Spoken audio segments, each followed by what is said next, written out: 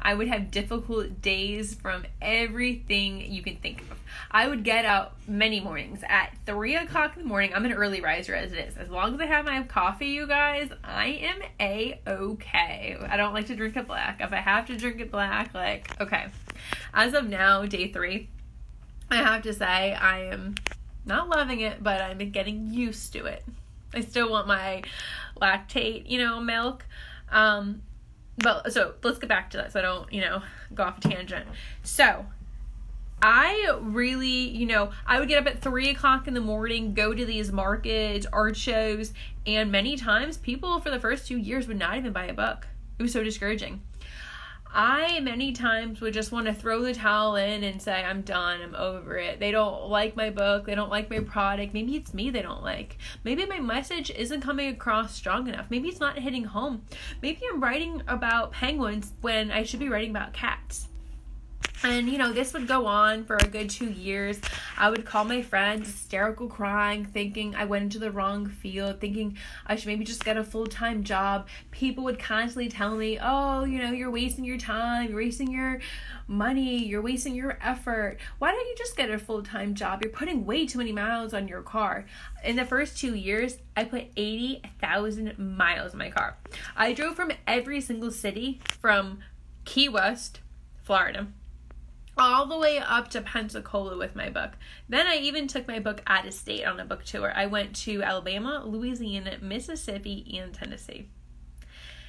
So it was insane. There was many times, like I said, people would not even buy one book. I remember I even drove three hours one way for a book reading.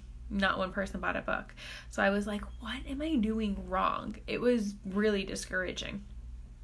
And then one day, you know, I said to myself, I gotta keep going, gotta keep trying, gotta keep trying. I would constantly get people giving me negative feedback at markets, trying to give me their marketing and advice when they don't even have a business, trying to tell me how and what I could do better with my book when they never even wrote a book themselves. And of course, you know, little me over here, I'm like, oh, tell me your advice. What could I do better to market my book better? What am I doing wrong? And I heard everything from A to Z, you guys.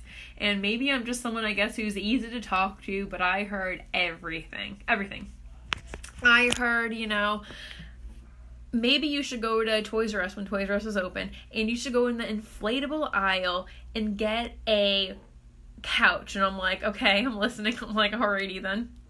And have it in front of your booth. And I'm like, okay. This is, you know, a guy telling me this and you're just really easy to talk to. Have it on your, you know, on the floor, and people can sit down and have like a chit chat with you. And if they have, you know, like an emotional time, you can have tissues, have Charlie on it, the penguin. I'm like, oh, that's a brilliant idea. I'm thinking to myself, what the heck? So I'm gonna be like a therapist? I didn't go to school for that. I don't feel comfortable giving advice. I'm a children's author. It's a little different. I was like, thank you very much. Okay, moving on. I heard it all. I even heard like my book became a political thing. A children's book. Are you kidding me? P- people like I heard it all. So because my book, it I have a sticker on it. It says "Made in America." People are like, "Oh my gosh, you should have your book printed in China," and I'm like, uh, "What? Why?" I'm like, "I want to support this country." People are like, yeah, but you can, you know, save more money if you go abroad. I was like, I know you could, but to me, it's really important to spend the money and employ the workers here in America. It's just really important to me. So that's how I wanted to do my business. I even had people when I said I was from Massachusetts, they were like, "Do liberals only buy your book?" And I was like, "What? what kind of comment is that?" I was like, "Um, not that I'm aware of.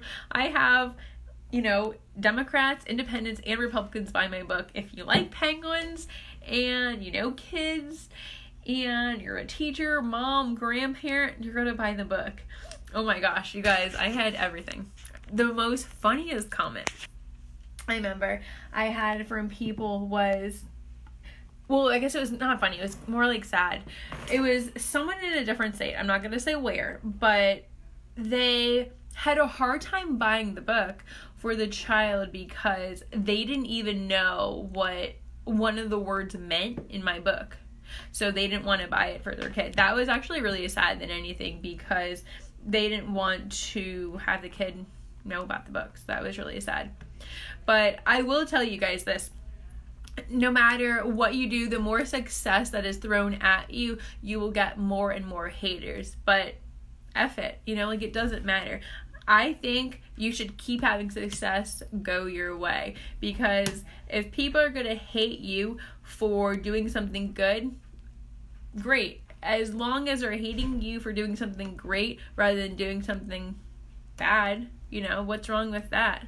People are always going to be jealous wherever you go in life. You know, if it's family members that are treating you that way, well, I would say you can love them from a distance. You don't need them to be in your social circle. You can't have negativity in your life if you're going to run a business, if you're trying to shoot for your dreams, go after your goals. You just can't. Especially as an entrepreneur myself, that was really hard for me because I didn't want to have, you know, negativity. Just like a hotel, you guys, right? There's only say there's like 200 rooms, there's only so many they have that is occupied um, and so many that is vacant. You can only have like in your brain in your mind only so much negativity. So get rid of it. Be gone with it.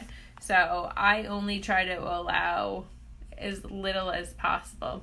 Sorry no room not allowed here you can go you know give someone else your negativity so it just doesn't fly with me and I listen to a lot of motivational audiobooks, as I think a lot of you guys know. Read a lot of self help books, business books, as it does help to reprogram my mind. And it just helps me to be like in a really upbeat, positive mood constantly. Constantly.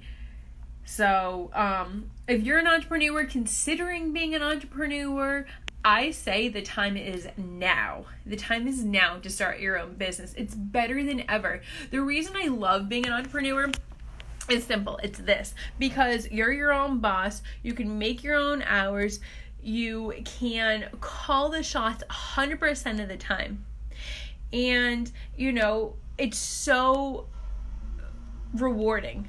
That's the biggest thing I would say. It's so rewarding. You know, I started this so November 30th, 2020 this year will be 5 years in business and it has been such a roller coaster, such an emotional ride. The reason I say emotional ride anyone who you know from the outside looking in if you have your own business i'm sure a lot of people will say oh that's so easy. Come on you can get that done. How come you don't have time to hang out with me tonight? How come we can't get drinks tonight? How come we can't get dinner tonight? How come you're always busy and you know doing that with the business? You know anyone who has a business, let me tell you this, would never make a comment like that because success is not something that happens overnight. So just remember that someone who has made it thus far would never make a comment that success or have your own business is easy because it's not.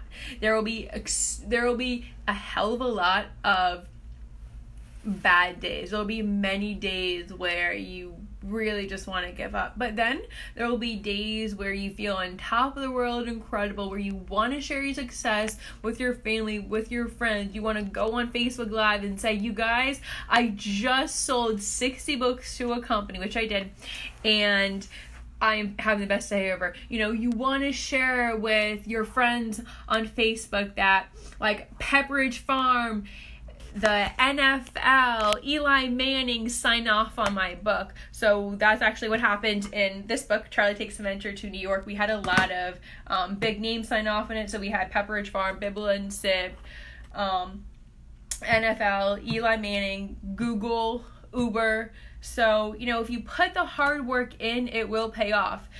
Success builds on success success is never by luck. Success is not given to someone, but I do believe the lucky people will inherit success. If that makes any sense. Hey guys, thanks so much for watching. And don't forget, keep shining, keep being a winner, and don't ever give up. And don't let the negativity get to you. No matter what you do, keep shining and never let anyone tell you can't. And always dream big.